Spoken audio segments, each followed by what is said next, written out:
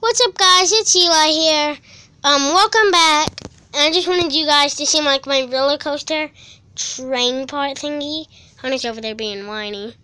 Um, because he thinks I broke his train, but he crashed and burned in the practice file and which is okay, I mean I'm fine with it. I got Thomas here. Uh, I got a Minecraft pig and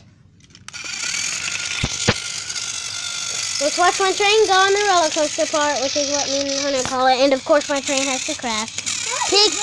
Here. Uh, he's going.